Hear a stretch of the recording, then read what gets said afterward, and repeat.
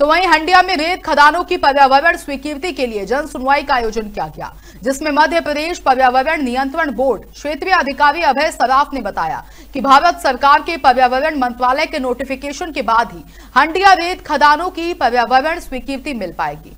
उसके बाद ही stat mining corporation आगे की कार्रवाई करेगा। पर्यावरण स्वीकृति हेतु लोक सुनवाई का आयोजन था आज जो रेत खदान के लिए लोक सुनवाई हो रही, इसका कुल रकबा 20 हेक्टेयर है। तो इसके लिए भारत सरकार, पर्यावरण वन मंत्रालय का जो ई आई नोटिफिकेशन है, चौदह नौ दो हज़ार छः का, उसके तहत लोक सुनवाई की जाती है।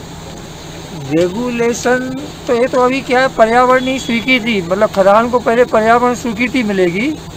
पर्यावरण स्वीकृति मिलने के बाद ये स्टेट माइनिंग कारपोरेशन इसकी पर्यावरण स्वीकृति उनको देंगे उसके बाद फिर आगे की कार्रवाई स्टेट माइनिंग कारपोरेशन करेगा।